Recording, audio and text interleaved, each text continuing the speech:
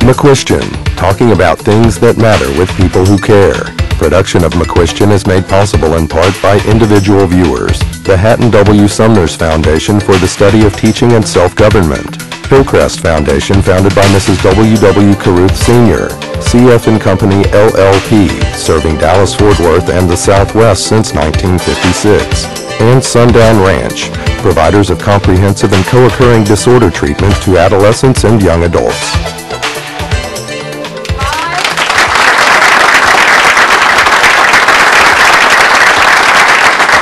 Scuba divers have long benefited from having hyperbaric oxygen therapy if they should get into trouble.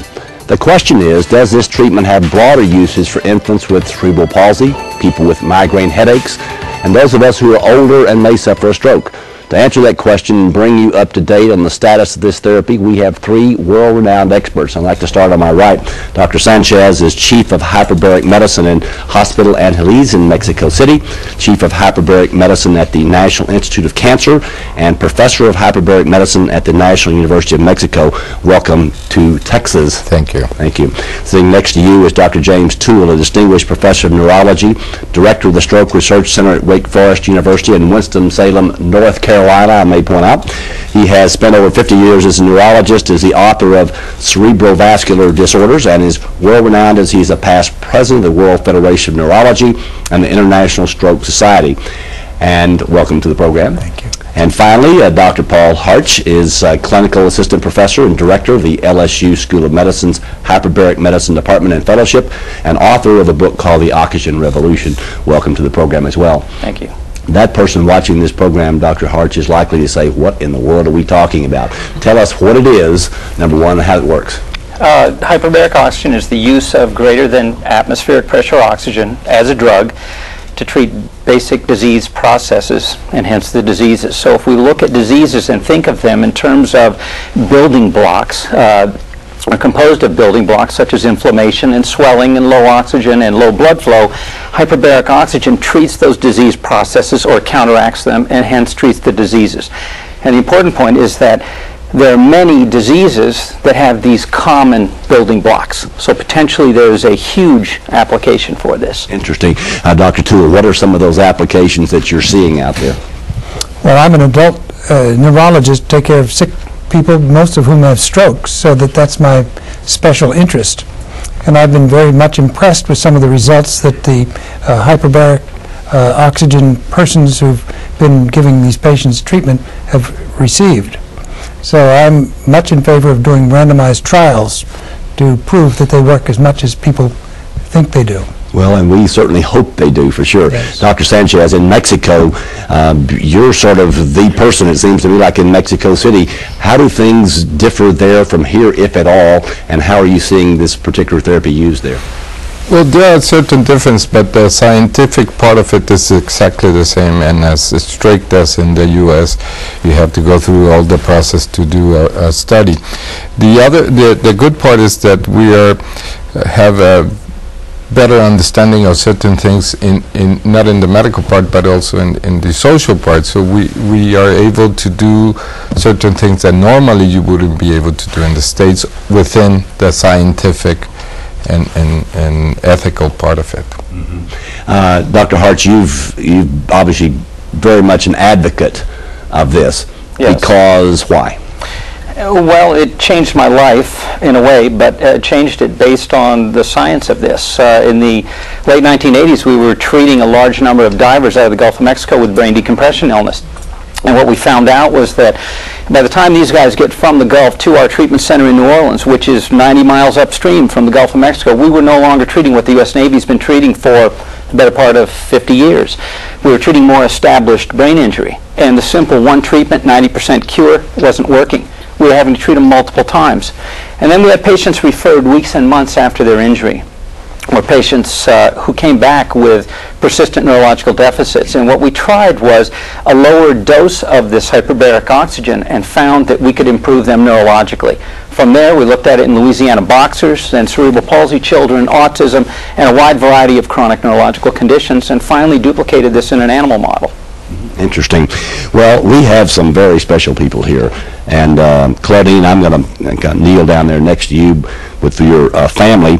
And um, I'm going to ask you, first of all, to tell us who you are, who you have here with you, and then why you're here.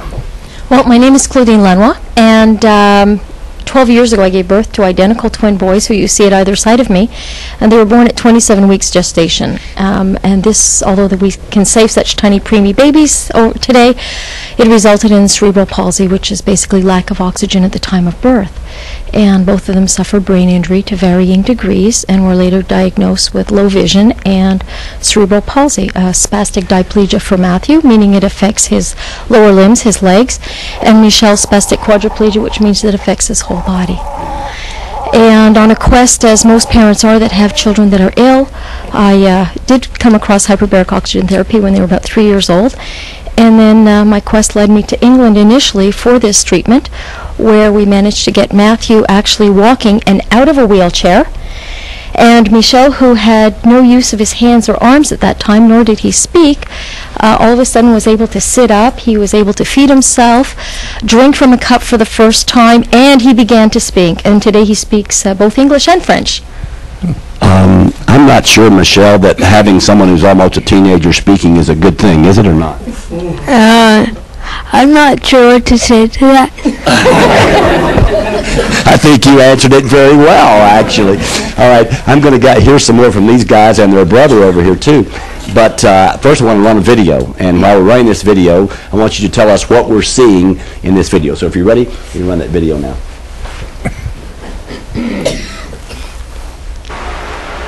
A couple of years ago, I was uh, fortunate enough to open a center in Montreal, or just outside of Montreal, where I regularly treat the boys uh, because they will need treatments long term. So here we are in one of our uh, weekly treatments, going into the chamber.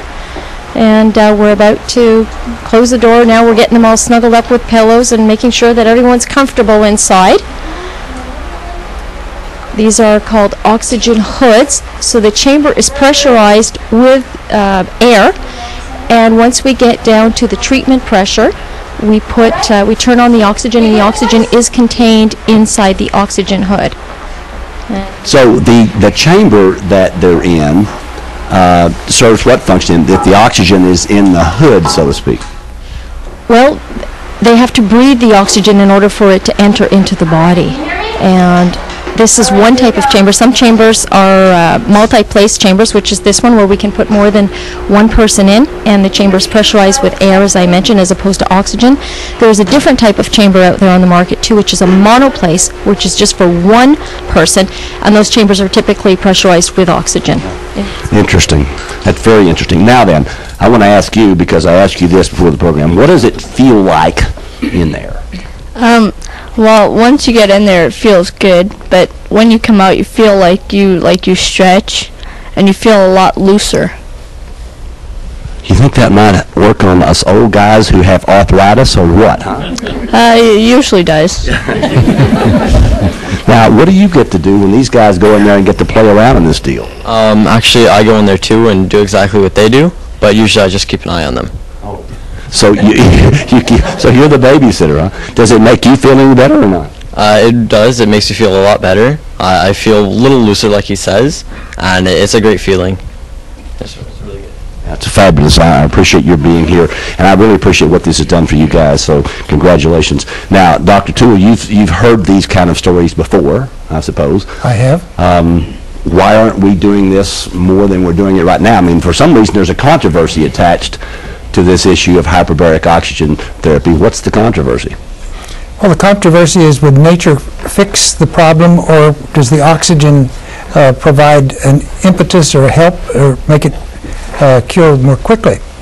Um, I myself am not a pediatrician, so I'd pass on that question, but I could answer it for the old folks uh, that are dementing or getting a little less nimble in, with their brains, and uh, would it in some way or another help their memory or prevent them from becoming demented.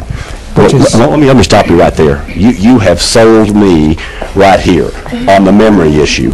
I mean, I, I have been accused by people, uh, unfortunately, uh, with some truth, of having no memory whatsoever.